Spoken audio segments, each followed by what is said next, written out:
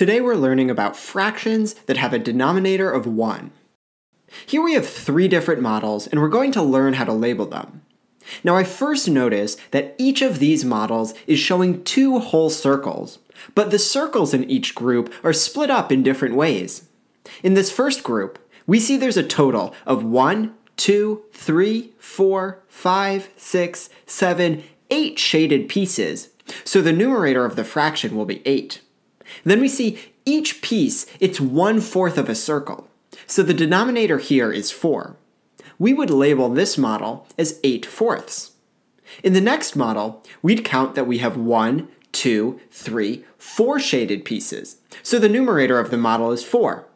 But if we look at each piece, we see that now it's one half of a circle. So we have 4 halves. Finally, we come to this last model, and this is the one that's new for this video, because these circles, they haven't been split up into pieces. These are just two whole circles. But let's approach this in the exact same way. Let's treat each circle like a big piece, and count up that we have one, two shaded pieces. So our numerator is 2. Then if we look at each piece, it's just one whole circle, so as a fraction, we'll write that by making the denominator a 1. 2 over 1, or 2 wholes, is how we can label this model using a fraction. What you need to remember is that when we have whole numbers or whole shapes, we write them using a denominator of 1. Let's practice doing this together. Let's label all of these groups, starting off with this first group. What can I write? Well, there's a total of six shaded pieces in the square, so the numerator of the fraction is a 6. And the square, it's split up into a total of six pieces, so the denominator is 6 as well.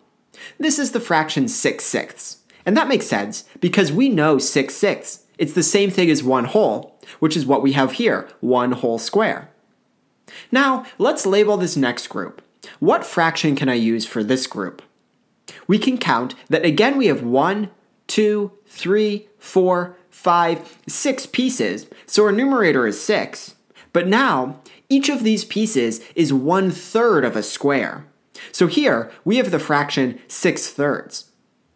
Now finally, we have this last group where the squares are not split into pieces at all. Well, what should the numerator of our fraction be?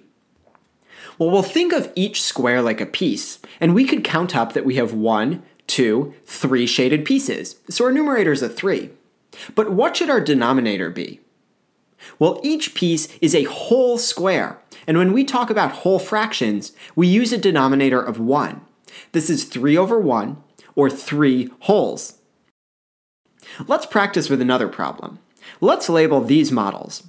Starting with this first model, I see I have three rectangles, or three pieces, so my numerator will be a 3. But what should my denominator be? Well, each piece, it's a whole rectangle. It hasn't been split up at all, so we use a denominator of 1. It's 3 over 1, or 3 wholes. Now how can I label this model? Well, there's 6 shaded pieces here, so the numerator is 6. And if you look at each piece, you see it's one third of a rectangle. So this is 6 thirds. Finally, let's look at this last model. How many shaded pieces are there? Well, all we have is this one shaded rectangle or one shaded piece, so our numerator is a 1. And because it's a whole rectangle, our denominator is 1 as well. This is 1 over 1, or 1 whole. Now it's time for you to do some practice on your own. Label these models. Well, the first model has four shaded pieces, and each piece is a fourth. This is 4 fourths. The next model also has a total of four shaded pieces, but each of those pieces is a half. So this is four halves. The final model, it also has four shaded pieces, but each of these pieces are an entire square or a whole square. And so the denominator is 1. This is 4 wholes. Now here's your last problem for this video. Label these models. Well, this model, it's just one shaded piece, and the circle's only made of one shaded piece, so this is the fraction 1 over 1. The second model has three shaded pieces, so the numerator is 3. However, each piece is a full or a whole circle, so our denominator is 1. This is 3 wholes. Finally, this last model, it's four shaded pieces, and each piece is a whole circle, so this is 4 over 1.